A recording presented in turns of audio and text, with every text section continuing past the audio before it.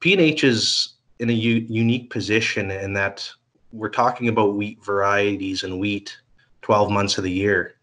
Uh, we usually get the conversation started now, June and July, uh, when the wheat is growing in the field. We're out there with the farmer looking at how it's growing agronomically.